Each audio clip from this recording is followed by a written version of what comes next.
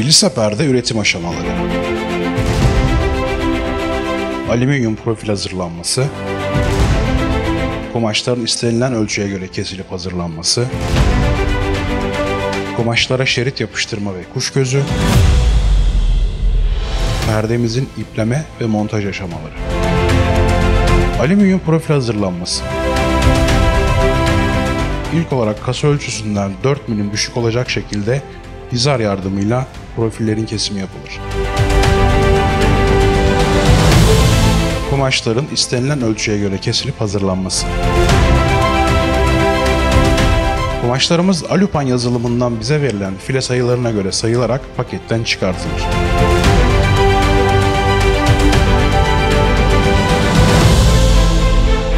Sonrasında Alupan Plise Perde tarafından tasarlanmış kumaş kesim makinesiyle kasa ölçüsünden 4 milim düşük olacak şekilde kesim yapılır.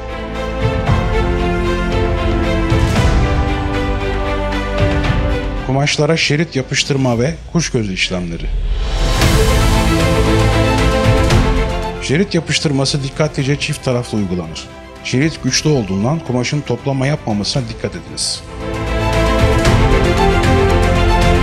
Kumaşlar iş emrinde verilen ölçülere göre özel makinesine derinir. Kuş gözüyle açılan delikleri yapıştırdığımız şeritle birleştiririz. İpleme ve montaj aşamaları. İpleme işlemi bittikten sonra perdeniz kesilen profilleri dikkatlice yerleştirilir. Profil kenarlarına kapaklarımız monte edilir. Daha sonrasında ise istenilen ölçülere göre ip boyları ayarlanır ve perdeniz montaja hazırdır.